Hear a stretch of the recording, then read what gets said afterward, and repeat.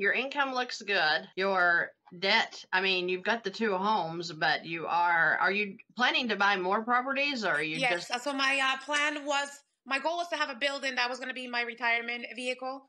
Okay. Um, the COVID and you know the debts, uh, changing of uh, career, uh, did put me behind. Um, but I, I still want to within the next year or so buy uh, either a multifamily or if I find a, a property of a building five units and plus that could be my vehicle to you know get free from the rat race. I love it when I talk to people who are looking into multi what did you call it? Like you have a multi-family Multifamily. Yeah, Yep, mhm. multifamily, and uh, because I think that that is the way to go. I have a lot of people that do Airbnb, and then like you know, I have several people that have homes. They live in one, but then they'll rent out the rooms through the Airbnb, and they're making such great money doing that. It's shocking. So I I always am encouraged when I hear people like yourself. Like with me, I hesitate because I have a fear there of what if I do something wrong, or what if I go Mhm. into a multi property and it doesn't rent out. You know, I have all this stuff that comes to me. But by the way you just said that, you know what you want and you're you're going to make it happen because you you feel comfortable in that area that realm of you know doing the rental. So i think that's pretty i love to hear that confidence because i don't have it. And when i hear it it encourages me because i'm like wow. The first thought i had when you said that is i went that sounds like a good idea. I want to do that. But then in my area i'm like where would i find that? What am i looking for? You know like how much would i pay for that? So i have i, I just love to hear that. Anyway so you're in massachusetts right? Okay. Yeah. mhm. So you've got a good you've got the great heloc So, I'm- um, and then my income, I wanted to clarify. My income should be a lot more, but because I have that vacant uh, uh, apartment, Mhm. um, I am uh, out of uh, about twenty to twenty five hundred dollars a month, um, because it's, it's not generating any income. So I didn't put it there. And Okay. also, I live with my boyfriend, and we pay uh, half on bills, but I didn't put it there. Um, call the the title boyfriend, and I just relationship issues and I just want to make sure that I'm able to do what I want to do on my own. And Yeah. if he's helping out, then that's a plus that's going to get me to my, you know, goal a lot faster. But I just want to make sure that I am the one, you know, moving the vehicle the right to the right direction. Right. And that's a good idea. Marital relationships are hard enough dealing with finances, but when you've got the boyfriend thing going on, that's, yeah, that can be really, imagine, I imagine that can be very stressful. So, with that being said, the very first thing that comes to my mind when I see your properties and then I see or hear your idea to move into more properties, the very first thing I think of is the Money Max. Uh, because one, you're paying very high interest on the homes that you have now. And how long have you been in these mortgages? So for the uh, the one that says uh, the savings bank, I bought it in 2018, and the Eastern Bank one, the second one there, I bought it in 2016. Okay. So the interest on those homes are about, you're looking at close to 70% each. Yes. So if you can cut the interest down to about 2%, you can see how you're going to be paying off the properties faster than you're paying into interest. So that's why the Mhm. Money Max always comes to my mind when I see multiple properties. It also helps you to know when you should move into the next property, which is usually within 18 months. So it just depends on how you're using your debt tools and how MoneyMax comes in and takes the interest charges down to about 2%. So that's just why I'm throwing that out there because all of my investors are into the MoneyMax to help them Mhm. eliminate interest while they're gaining more properties. Okay. So that being said, if you continue on, are either of these your primary residence? Yeah, the first one. Okay, so a couple of ideas then would be to move your primary into a first lien HELOC, which would pay off the mortgage that you currently have.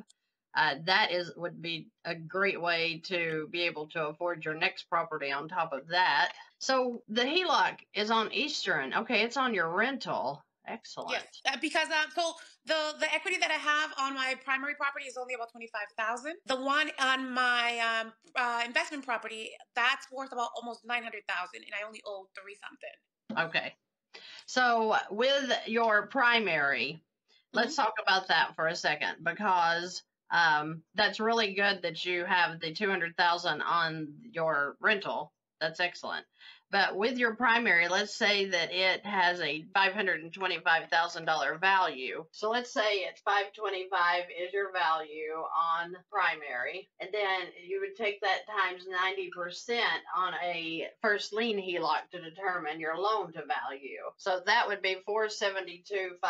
So 472 500 would be your loan to value. Then they would pay off your first mortgage there, which is 362. This would pay off. So that would mean it leaves you 110,167 available to use for your next property that you're looking to buy into. So yeah. when you pay off this current loan that you have, the 1931 is the payment on that. So just like I teach in the videos, this is a huge line of credit that all of your income would go into, all of your expenses come out of. Now, with your HELOC that you have on the second home, if you look at doing your next home correctly, you could take the money here and the money in your HELOC and turn around and buy a big chunk of your next property with just what's available in your HELOC so that you're not gaining another mortgage payment and you're not paying the origination fees on a mortgage and stuff like that. Does that make sense? Yeah, but the properties here are a lot more than that. So oh, and I know that. So but if you're if you're able to put like two or three hundred thousand down, okay, yeah, mm-hmm. yeah, okay. So you're saving on the origination fees alone, which is very expensive and I'm sure in your area. So this is a couple of ideas to gain the monthly payment that you're paying right now as cash flow so that you'd be working down your primary property a little bit faster than you certainly are going to be doing in this if you especially if you've got probably 25 years left 24 years left on the mortgages that you have right now. As far as your other debts, I wouldn't even think of bringing them in yet because you don't have payments or interest on the heat loan or the 401ks according to your worksheet. So yeah, so the the 401k, uh, yeah, they have the payments. So it's three 94 for one and then 143 for the other one um, those are taking most of my paychecks because those come out before i even see a paycheck so that's one of the most stresses uh, in my um, in my finance world is that, that i've worked all these hours and then i don't see a paycheck that are um, based on my salary is it zero percent though? It's not actually. I can't figure out. Uh, I think it's one point two five percent, but I, I, can't really. I couldn't figure it out the percentage based on the documentation that I have. Okay, so even if you're paying 8% back into your 401k, that's going back into your fund. So you're not losing any money that you're putting in there. I noticed too that you have a car payment. Is that yes, a lease? It, it is a lease. Okay, so that's why you put it over in the living expenses. So I think that you're you don't have a lot of debt besides your 401k if you were to put the 401k money, which is a total of 29,377 into your HELOC, you're going to be paying about $208 a month in interest on the HELOC if you pull that debt into the HELOC. I'm not sure that's a good idea because if you're just paying something as low as 1% interest, you're going to be now paying $208 in interest on your HELOC. How do you feel about that? I don't feel well about paying. I'm trying to move the opposite opposite way of paying less. Right. What um I'm also um trying to have all these minimum payments on different accounts that I've had. Uh, that mm-hmm. that was becoming overwhelming. There's just a lot of minimum payments that I had to keep track and right. um, calculations and things like that. So it was taking a lot of my time. Okay, so I don't see anything. I don't see any payments. You don't have any. You only have five thousand in credit cards, and you're showing an eighty nine dollar payment there, and the heat loan because is because I, I so that that balance of the sixty five thousand of the home equity that is recent. One uh, that is all of my credit card balances that I I made payments. The fifteen thousand. Uh-huh. Um, there was a 7200 so all those payments went to the 65000 balance that's on the heloc including about 20000 that is uh, being used to uh, renovate the property that's vacant right now. Okay.